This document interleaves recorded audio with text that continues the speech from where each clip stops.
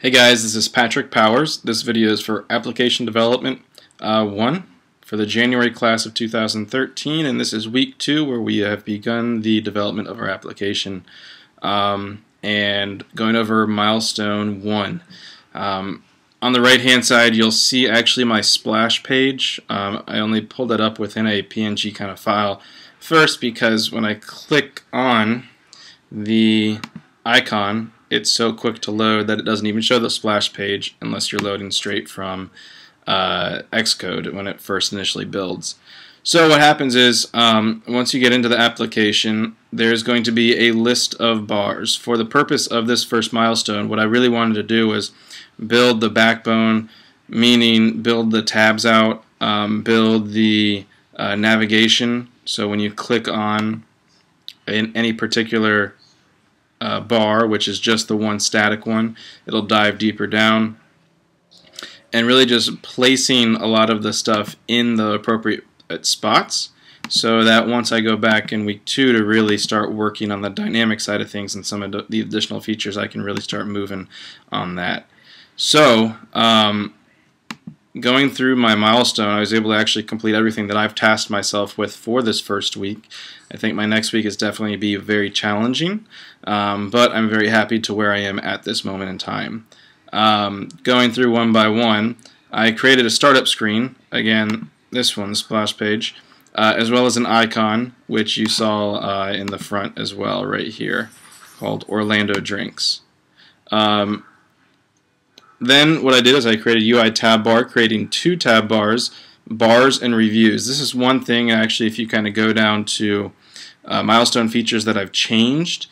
It's not so much that I changed any of these particular sections here, but I'm trying to figure out the best way to incorporate all the features we need for the project's uh, requirements into the the application so that I can make sure that I get the best grade possible.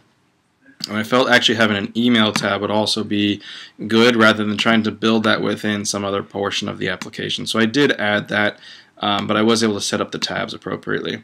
Um, create two UI table views for bars and reviews, and there we do. I have this one, and then I do have this one as well. Create custom cells for the table bar table view, and a custom cell for the review table view um, which again, once again I did. I, I, have an icon, I have the name of the, the bar, I have the location, and I have how far away it is. This is going to be something that's going to be challenging for me right here. Um, then over here, this is the reviews. It's kind of like a blog post essentially, and I have an icon again, the title, and then I have uh, some excerpt text from the particular uh, review. Um, I then created a nav bar, so I do have that nav bar. Obviously, you can see as it goes deeper down, either one of the table views, it has that nav bar. Clicking on the table view cell drills down, which obviously you can see that's what that does. And then what I really wanted to do is I wanted to figure out the detail view and put things in place. So you're going to see it's going to map out with an annotation of where the location of that bar is with the address and here's going to be some text about that bar. Not necessarily a review um, as to what's good or what's bad but just kind of what it is what it offers the style and what people can expect from it. Um, also you can call the bar directly or visit their website with these these buttons.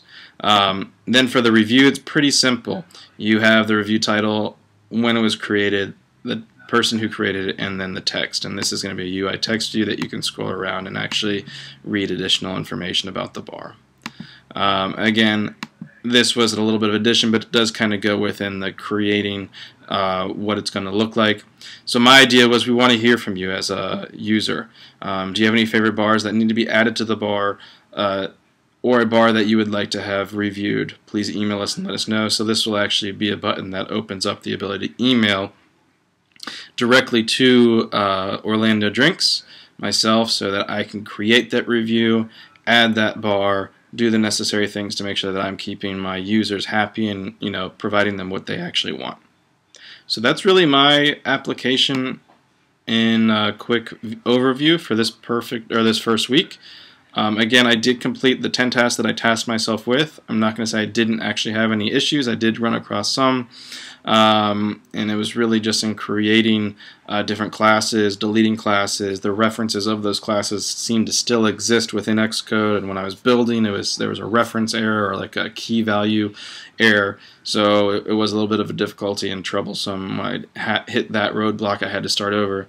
But I came to an end result where I'm currently happy to where I am and I can definitely say that next week is going to be very challenging. I put a lot of work into the next week, um, so I will see you then.